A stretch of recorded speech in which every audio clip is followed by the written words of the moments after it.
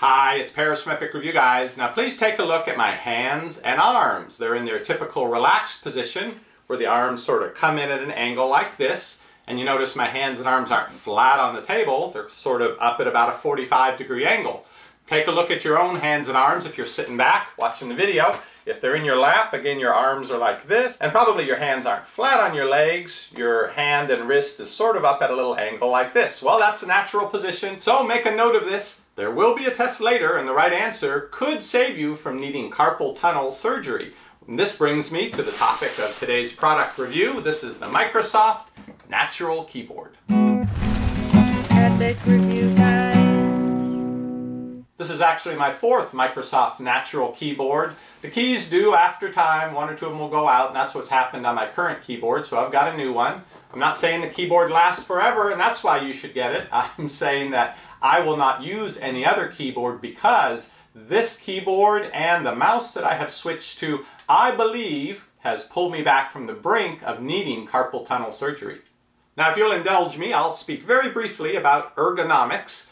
This is a computer keyboard. Doesn't look very different from the keyboard you use probably. An interesting point though is this is the keyboard from my very first computer back in 1995.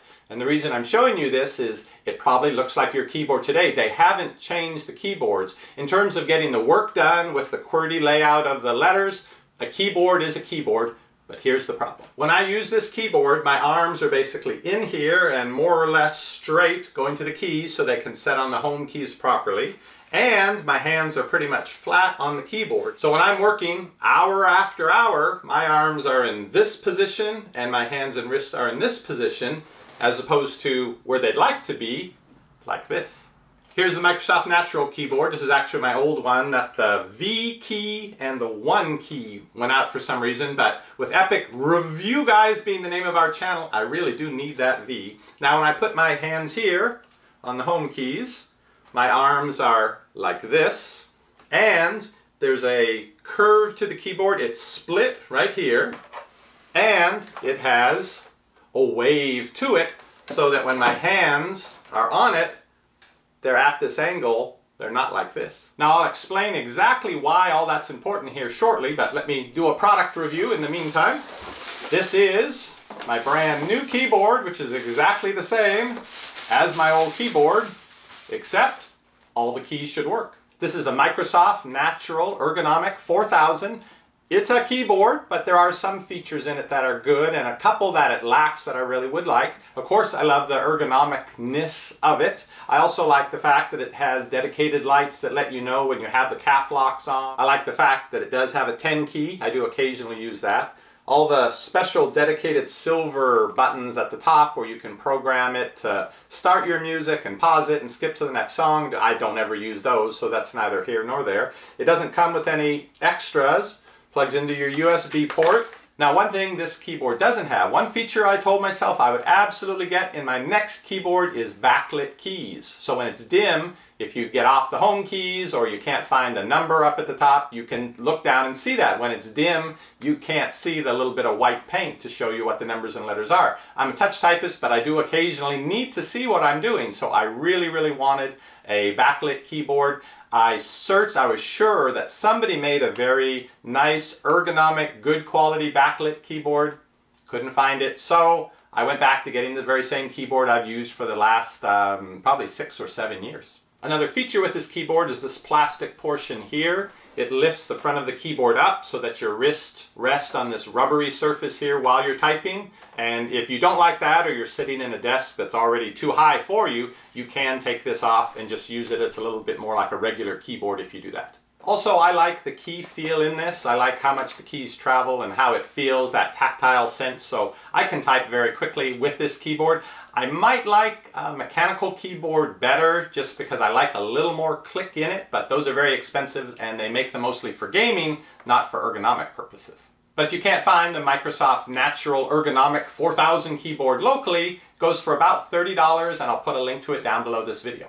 Now about all this emphasis on ergonomic, is that just a bunch of hokum? Well, if you've felt carpal tunnel pain, you don't think so. But if you haven't experienced it yet, then you may be dubious. So let me tell you a little bit about how my ancestors over the past, oh, 10,000 years or so have done things with their hands. Okay, now fortunately for you, my loincloth is out at the dry cleaners, so I won't be wearing it in this demonstration, but I just want you to see how I'm sitting here cross-legged, and I think this is probably how people have worked with tools for thousands and thousands of years. This is our workspace, and whether it's women um, working to prepare food, whether they have the the stone piece with another stone piece, grinding the grain, doing things like that. All your work happened right here. Men who were making the flint, the um, arrowheads and so forth, doing that work.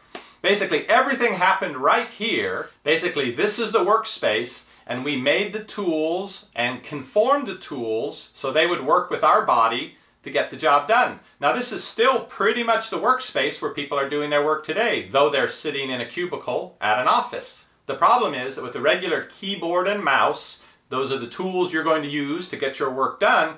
You're not making the tools conform to you. You're told to go sit at your desk and conform to the tools. So instead of doing the work in natural motions, you have to do this and go to the mouse and do this. And this is how you spend the day in very unnatural positions. The wrist really doesn't like it, and there's no need for it. If you use an ergonomic keyboard, and if you use a correct ergonomic mouse, I'll show you the one that I use. So instead of your hand doing this, your hand is doing this, much more natural, much more organic motion, you can save your wrists.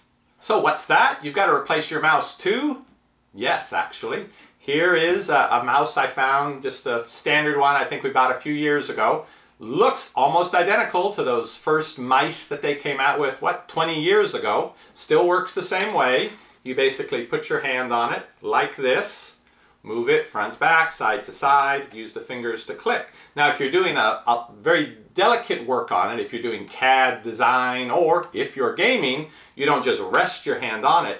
You probably have this little bit more elevated hold where you're putting the strain of holding it up in order to be able to move it very precisely because that's what you need is precision. And so doing it kind of sloppy where you lay your hand on it isn't going to get you a win in those first-person shooter games. It's got to be up like this so you can have those lightning reflexes. And it does work. Uh, my brother and I, we played a first-person shooter for some time. It's called Crossfire, a free online game. We got it. Um, we started playing that right when it first came out, we were fairly good. We actually entered in tournaments. We had a group of about 100 people. We practiced together. I got some really bad wrist pain. And at first it would only come up after maybe playing 20 minutes or so. It would start to ache right in here. But I kept playing, and it got to the point where it would ache even when I wasn't on a computer. And I thought, oh, I've pushed it too far. Well, University of California actually studied this and found that it, it's not the mouse itself, it's the position of your hand on the mouse. Because your arm wants to be like this. But when you're using a mouse, you're forcing it to be like this. And then again, if you're doing intense things with it, you're having that constant tension, and it's right in there. So they designed a mouse to take that pressure off and let your hand use a mouse in a normal way. This is their creation, the Evoluent mouse. Now I've reviewed this before and I am such a big supporter of it. It is, as you can see, it's got the buttons to click, the little scroll wheel. It is a mouse turned on its side. So now, when you use it, your hand is in a natural neutral position. You don't strain your wrist anymore. Well, my wrists probably hurt for the better part of a year after I stopped gaming, but it hurt less and less once I switched over to this mouse because I wasn't constantly putting it in the position where all the damage had been done. I can function, I can open jars, I can use this mouse and still use the computer for a couple hours a day without any pain. Good enough for me. The Evoluent mouse is pricey. This is just under a $100 for this. Now I've seen that there are some, I don't know to say knockoffs. There are other companies making this and selling them for around $30. I don't know if they are as good, but if that's all you can afford and you're in a desperate state to try to help out your wrist, even that would be worth a try. If you're interested in the Evoluent mouse, I'll put a link down below this video. So when my hours each day on the computer went from being spent like this